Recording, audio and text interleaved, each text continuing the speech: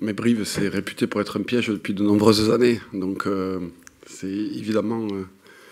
ce sera évidemment pas une surprise l'accueil qui nous sera réservé là-bas, à la fois par je pense, leur public, mais aussi par, euh, et surtout par, euh, par, euh, par cette équipe qui sera présentée sur le terrain.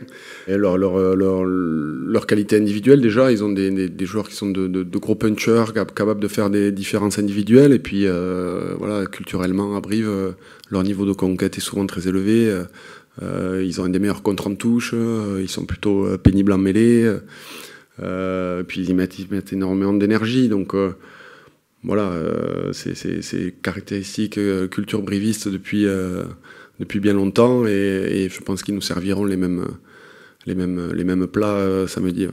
Oui, c'est jamais facile. Ils vont être portés par, par leur public. Je pense qu'ils vont à cœur de, de mettre énormément d'intensité.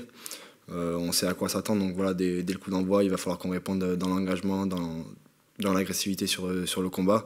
Et après, c'est à nous de, tenir le ballon, de mettre notre jeu en place, d'éviter toutes ces, toutes ces erreurs qu'on a fait sur, sur ce début de saison.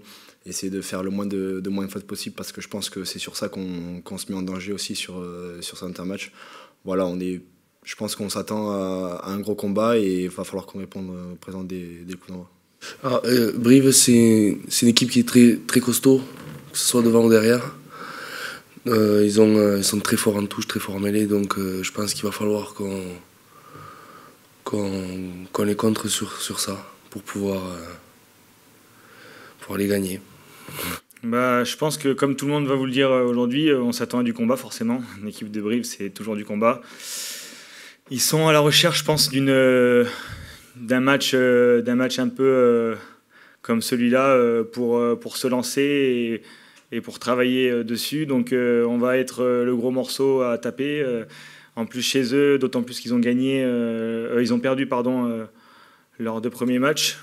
Donc euh, on s'attend forcément à du combat, mais il ne faut pas non plus tomber euh, dans la guéguerre euh, de devant parce qu'on sait qu'ils ont des pattes derrière, ils ont du rugby.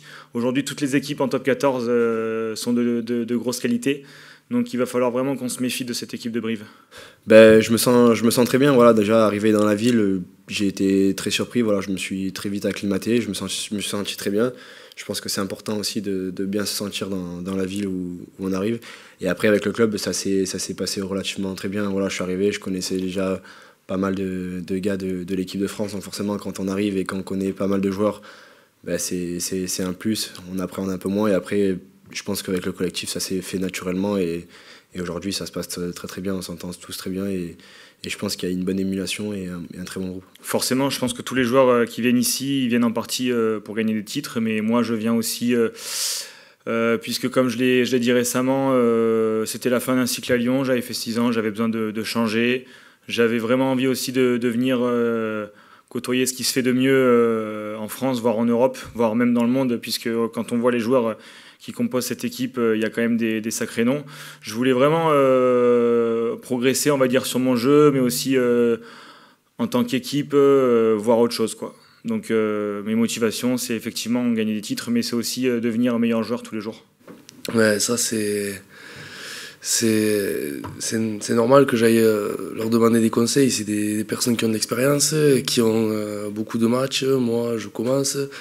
Donc, oui, je leur demande forcément des conseils. Beaucoup à, Alde, Dorian Aldeguerri, tout ça, enfin, c'est, oui, c'est, c'est, oui, ils sont de bons conseils en plus. de très bons même.